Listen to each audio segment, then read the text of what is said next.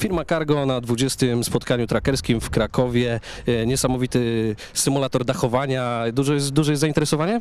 Powiem szczerze, że nie mamy przerwy. Nie możemy sobie przerwy zrobić. Symulator kręci się bez przerwy. Ludzie są bardzo zainteresowani.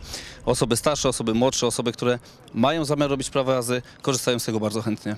No właśnie, żeby się dowiedzieć, jak, jak, jak to wygląda w tej, w tej niebezpiecznej sytuacji. Co jeszcze u Was na, na stanowisku Cargo?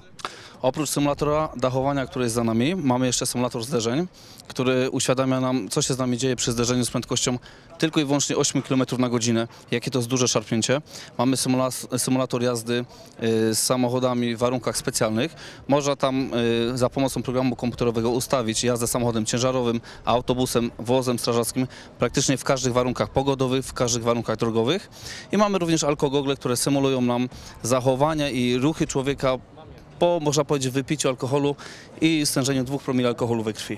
Oczywiście nie polecamy nikomu, żeby takie rzeczy testował na, na, sobie na, na, na, co dzień, natomiast można sprawdzić faktycznie, jak to działa w tych niebezpiecz- niebezpiecznych sytuacjach. A impreza, jak ogólnie się podoba?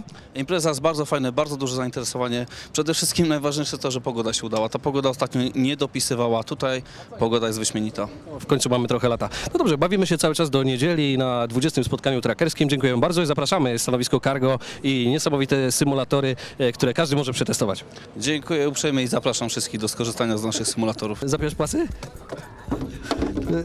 O kurde. No dobra. Ja już mam dość. Ja już mam dość. Ile razy was na, na, ma nas obracać? O, jest dobrze. I tak zostaw, tak zostaw. Nie, nie, nie, już starczy. Koniec, ja już nie chcę.